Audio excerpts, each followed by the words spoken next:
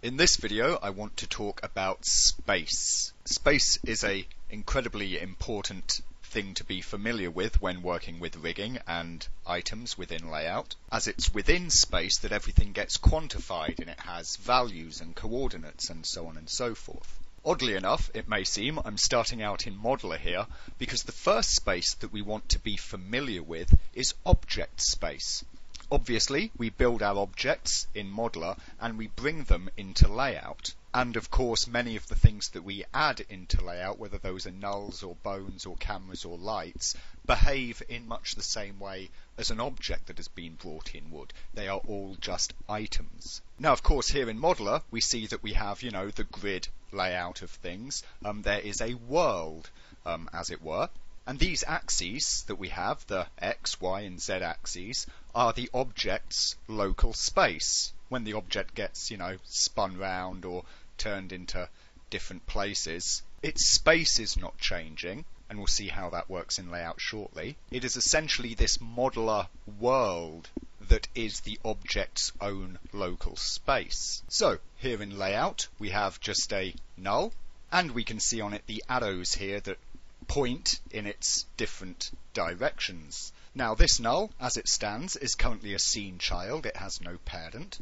and so it is in the root space, or the scene space, or the world space, as it's most commonly referred to, which is the base space underneath everything else in layout. Now, what we see when we are talking about items, objects, etc., is that items have their own local space, which we can represent thusly as a set of grids that exist on the object itself. Here we can see that these grids are all in line with the world space. They're no different because this object is just sat at base, at origin, 0, 0, 0, no rotation, and so on. But of course, when this item is moved, it takes its local space with it. It has a position in world space, as we can see marked out here, down in the little readout box, but it also has its own local space, and that comes along with it. The same is true when we rotate it, as we can see. The local space of the item goes with the item itself. If we switch back here to the translate tool and come about a bit so as we can see the handles, we see that they are no longer aligned with these grids. We can make that a little more obvious there. But notice, of course, the axes settings that we have here. If I switch to local axes, we can see, once again, that the handles are aligning with the local space of the item. World axes and parent axes here appear identical. The reason, of course, being because this is a scene child, so its parent is the world. So let's take a slightly closer look at these precise definitions here with a second null. So I've got a second null there, which I can parent to the first one, and I'm just going to move it somewhere um, within, of course, this first null's local space. That's the thing. We saw, of course, in the last video parenting and hierarchies how it is that when objects are parented together, a child will move along with its parent. The reason why, because it is in its parent's space. In the same way that this first null here is moving around on the grid of the world space, this second one is moving in the local space of its parent or rather in its parent space. As we see, with parent axis mode selected here, when I rotate this first null, the axis handles do not align with its own local space, but these ones on this second null do. The reason, because we are manipulating it within its parent space. In this case, the local axes are no different, because at present this second null has not been rotated. It is still at 0, 0, 0, even though, quite obviously, its parent item is not so. If we come back to our second null and we go to world axis mode, then we get handles which are aligned to the world axis, of course, or the world space, and our item can be moved around along those lines.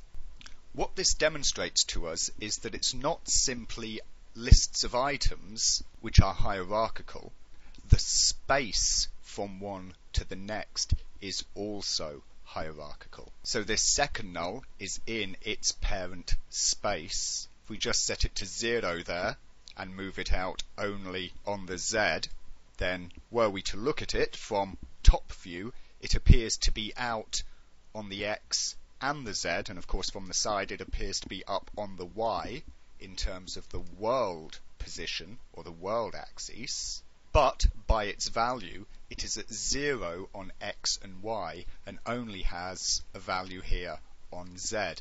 Now this is important to consider because when values are recorded in Lightwave, most specifically of course, in your graph editor and you have keyframes with values on them, these values are always in parent space. You cannot convert them to some other space, you cannot use them in some other space.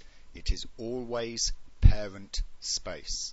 And of course, when it comes to rigging, this is important so that your items will wind up in the correct position relative to the correct item be that their parent, their child, or some item that's part of a totally different, unconnected hierarchy. So, as we can see, space is relative from parent to child in a hierarchical fashion in both position and rotation. Once again, remember this null, this second item here, is not currently rotated. It is at 0, 0, 0 in terms of rotation.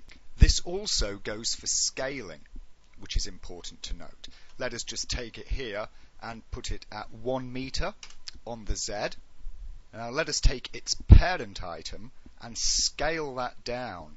What do we notice with the child null here? Well, in position, it is still at 1 meter. If we look in the top view here, you can see that my grid is currently set to 1 meter, so this point here to that point there is 1 meter's distance. This is clearly not one meter out. Let me reset the rotation here of the parent. We can see that this is clearly not one meter in front of its parent, but it has a value of one meter on its z-axis.